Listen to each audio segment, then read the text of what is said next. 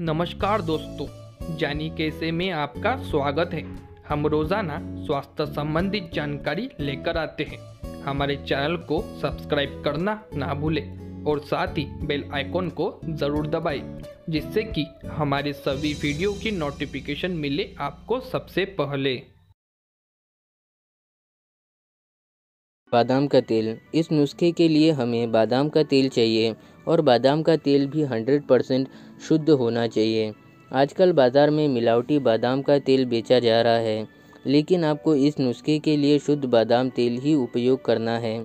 और बादाम तेल की दो बूंदें रोज़ाना रात को चेहरे पर लगाकर मसाज करनी है। इससे चेहरे की खोई हुई चमक और निखार वापस आ जाएगा। बादाम के तेल के फ़ायदे। बादाम के तेल में भरपूर मात्रा में विटामिन ई होता है जो त्वचा को पोषण तत्व प्रदान करने में मदद करता है।